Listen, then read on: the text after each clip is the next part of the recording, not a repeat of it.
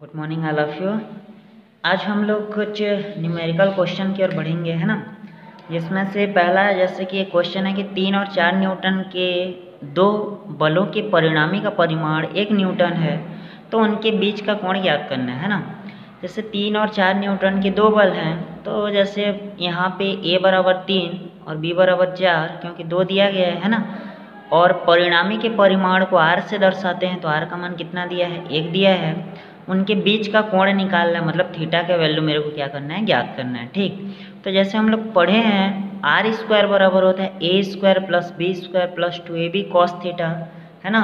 दो सदिशों के परिणामी का परिमाण आर का मान एक ए का मान तीन बी का मान चार वैल्यू को पुट करेंगे।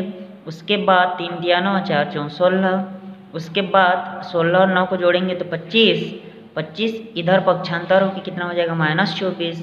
फिर चौबीस चौबीस आपस में कैंसिल आउट के माइनस वन हो जाएगा तो मेरा कॉस थीटा का जो वैल्यू मिलेगा, है ना, वो कितना मिलेगा आपका? माइनस वन और माइनस वन कितने का वैल्यू होता है? कॉस एक सौ अस्सी का तो यहाँ से थीटा का मान क्या हो जाएगा? एक सौ अस्सी अंश ठीक है? ये पहला क्वेश्चन है, बहुत ही एमपी है, तीन नंबर का इस टाइप का क्वेश्चन आता है। दूसरे में इस प्रकार आपका क्वेश्चन है कि अंडर रूट थ्री और तीन न्यूटन के दो बल, बलों के बीच का कोण तीस अंश है, परिणामी का परिमाण निकालना है।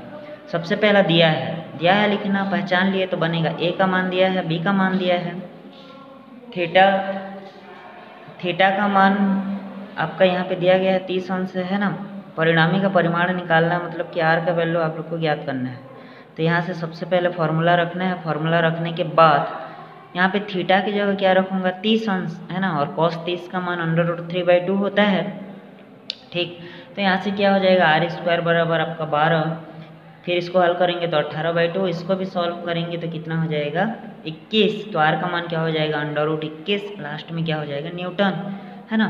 तो यहाँ से क्या हो जाएगा? आपका आर का मान मिलेगा। इस प्रकार आपको बहुत ज़्यादा क्वेश्चन यहाँ पे आप लोग को खुद को बनाना है। यहाँ से आप लोग को होमवर्क भी मिलेगा, है ना? ये क्वेश्चन नंबर थ्री है फोर है तो आप लोग को क्वेश्चन दिया जाएगा। आप लोग को क्या करना है? बना के इस प्रकार क्वेश्चन भेजना है। यहाँ से तीन नंबर का क्वेश्चन आप लोग को आता है। अगला है आपका देखना एक तलीय सदिशों का वियोजन। जैसे किसी सदिश को दो या दो से अधिक भागों में बांटना क्या कहलाता है? सदिशों का वियोजन। तो उसमें से पहला है समकोणिक वियोजन है ना? किसी सदिश को दो परस्पर लंबवत सदिशों में बांटना क्या कहलाता है? समकोणिक मतलब जहाँ पे 90 अंश का कोण बनेगा वो क्या कहलाएगा? समकोणिक या तो आयताकार वियोजन कहलाता है। ये x है, y है, x के दिशा में उसको जो माना हूँ उसको क्या मान लिया हूँ? ए एक्स है ना? वाई की दिशा में ए वाई लिया हूँ। परिणाम को क्या माना हूँ? ए पर यहाँ पे परिमाण को ए माना हूँ, इसीलिए x की और ए एक्स और y की और ए वाई है। बीच के क्या है? कोण जो है वो थीटा है, ठीक?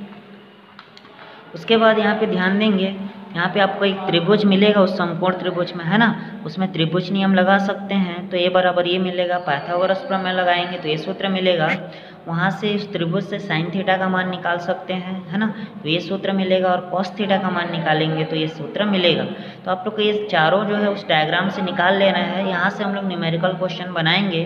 जैसे कि क्वेश्चन दिया है कि 40 न्यूटन का एक बल एक्स अक्ष के साथ 45 अंश का कोण बनाता है तो समकोणिक घटक ज्ञात कीजिए। एक्स अक्ष के साथ 45 अंश का कोण बनाता है है ना? तो एक्स अक्ष के साथ बनाता है कोण। तो मेरा कौन सा सूत्र मिलेगा? ए कॉस थीटा मिलेगा। तो यहाँ से क्या मिलेगा? ए एक्स बराबर ए कॉस थीटा एक्स अक्ष के साथ बनाएगा तो है ना? क्वेश्चन में अगर वाई अक्ष के साथ दिया रहता तो यहाँ पे ए वाई वाला सूत्र लगाएँगे थीटा का मान दिया रहेगा ए का मान भी दिया रहेगा क्वेश्चन में तो आप लोग ए एक्स और ए वाई का वैल्यू को निकाल सकते हैं, ठीक है? उसी प्रकार त्रिविमीय सदिशों का वियोजन में तीन रहेगा तो जेड बढ़ जाएगा, है ना? और दो रहेगा तो केवल एक्स और वाई होगा। तो यहाँ से i cap minus two j cap minus three cap परिमाण का एकांक सदिश ज्ञात करना है।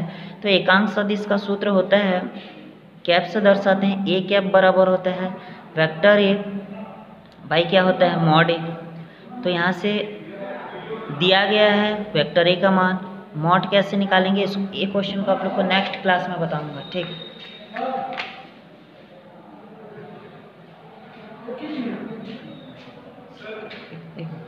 इसको हम लोग क्या करेंगे? नेक्स्ट क्लास में आप लोग को देखेंगे तो आप लोग को आज परिणामी के परिमाण का फॉर्मू वहाँ से क्वेश्चन भेजा जाएगा, आप लोग को बनाना है।